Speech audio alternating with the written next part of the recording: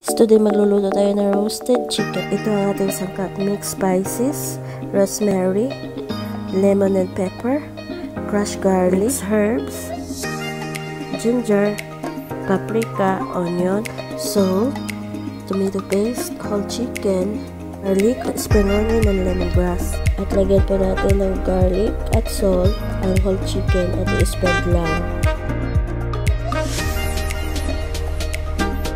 At masahin ng konti para pumasok ang lasa sa chicken. At pagsamasahin lang po ang ilang ingredients sa isang bowl. I-mix lang po natin ang ibang ingredients at spread sa chicken. At ilagay na po natin ang lemongrass at spring onion sa loob. At isit aside muna natin ng konti para mamarinate siya.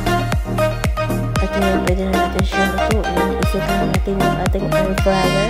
180 degrees Celsius. Lutuin na natin siya sa 20 to 30 minutes. After 10 minutes, i-flip lang po natin yung chicken para even yung kanyang pagkaluto.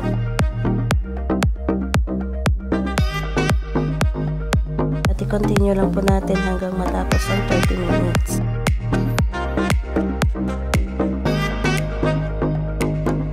After 30 minutes, ito na yung itsura niya.